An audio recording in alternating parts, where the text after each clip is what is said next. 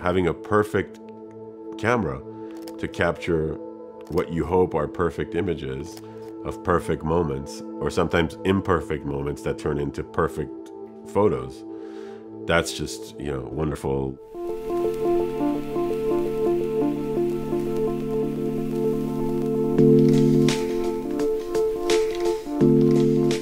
I grew up in Paris, France. I was born and raised in Paris, you know, which is such a visual city and such iconic photography. And I was always attracted to photography. I used to see a lot of exhibitions in Paris as a kid. Ever since I was born, basically, I would go to the Paris flea market every weekend, seeing so much art, so much photography, so many statues, so many paintings. All those things just kind of influenced my upbringing. I feel like that also kind of impregnated my eye as a photographer. It only made sense at a certain point that the most collectible thing for me was Leica cameras. I had an M3, a double stroke M3 from 1955 that was my first, you know, nice kind of mint condition Leica camera. That kind of started a bug of collecting M's, you know, and the feeling of those are to me the same as a rare car or a rare statue or a rare painting. I, I don't see it any different from a classic work of art because those cameras are classic works of art and they're perfect, technically perfect, beautiful designs. So they, they speak to me the same as all these things I've been collecting my whole life. M3, which was the first one, only camera that's in the Museum of Modern Art. This, according to them, is the best design camera ever. It is that statue, it is that painting, you know, it's, it's just as valuable.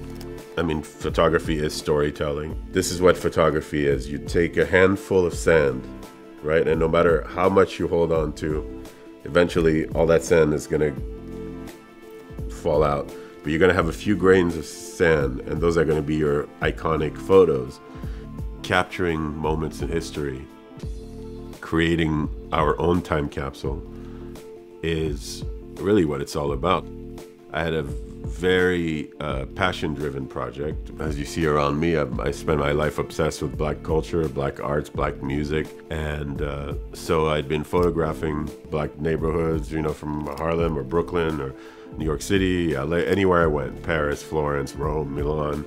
I thought, how, how cool would it be for me to kind of do a tribute to civil rights era photography, a tribute to Gordon Parks and Leonard Freed and Eli Reed and Bruce Davidson you know, people that captured the most iconic black imagery. Every picture I put in the show, I ask myself, would I want this on my wall?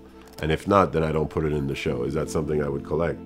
And one of the things I always loved was people's hands. And I have Quincy Jones, Sidney Poitier, Herbie Hancock, a lot of legends. And how cool would it be to just show their hands and make the other real people, like quote unquote, the non celebrities, you have the emphasis on their emotions, their faces, their life, their neighborhoods. Melvin Van Peebles, that's my favorite photo I've ever shot, shot on the monochrome.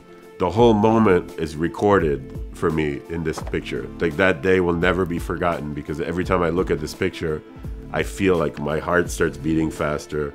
I remember like this is when I got to spend the day with one of my idols yeah, I mean, it's it's like there's a video that plays in my mind when I see some of these images, and you know, a lot a lot of these images. But this one somehow, it has everything in it. I'm just a historian, you know. I'm a historian with the greatest camera in the world, you know, and I'm using the same cameras or newer versions or the same old one as the historians that I grew up admiring. And somebody just here just asked me, you know, if you just had to pick one camera, it's always been the monochrome for me. That was always the answer. Like if I'm on a deserted island, but then all of a sudden, this M10P made me enjoy my color photos more, which is really interesting because I've never even considered street photography in color for myself.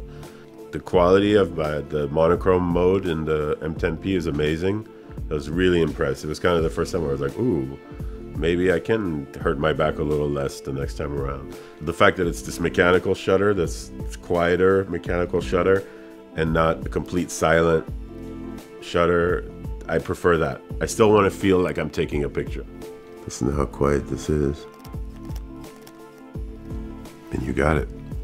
The this evolution of this M10P having a more silent shutter is a natural evolution, I think, to the times we live in. So the M10P would definitely be right now. That's that's the one I take out every day. It's a family, you know. We're we are a family. I mean, when you meet Leica photographers, whether they're in their 20s or in their 90s, there's always a connection between all of us. It's a, this lineage that's been created. So very proud to be part of that family.